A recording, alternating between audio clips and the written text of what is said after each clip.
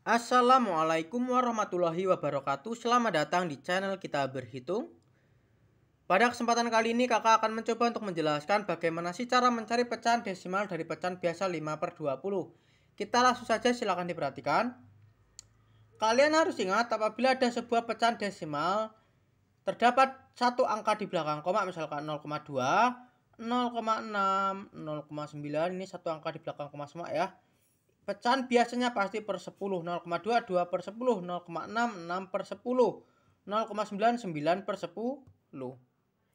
Kemudian, apabila ada dua angka di belakang koma, 0,25, 0,17, 0,72, ini dua angka di belakang koma, pecahan biasanya pasti per 100, 0,25, 25 per 100, 0,17, 17 per 100, 0,72, 72 per 100. Nah, di sini ada pecahan biasa 5 per 20 yang akan kita jadikan sebagai pecahan desimal. 20 lebih mudah kita jadikan 10 atau 100.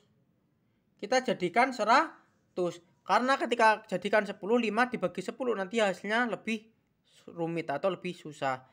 Untuk kita jadikan 120 dikali berapa? Dikali 5. Ketika penyebut dikali 5, pembilang juga harus dikali 5 seperti mencari pecahan senilai 20 kali 5 berapa? 100. 5 kali 5 25.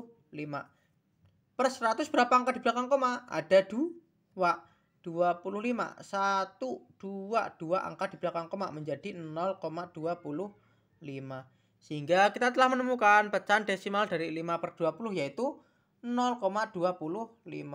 Mudah bukan? Apabila kalian sudah paham, kalian luar biasa. Apabila belum paham silahkan ulangi lagi videonya. Apabila ada yang ingin ditanyakan silahkan tulis di kolom komentar. Sampai jumpa di video berikutnya. Wassalamualaikum warahmatullahi wabarakatuh.